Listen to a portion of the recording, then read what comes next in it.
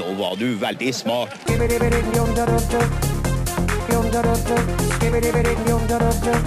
Nå var du veldig smart.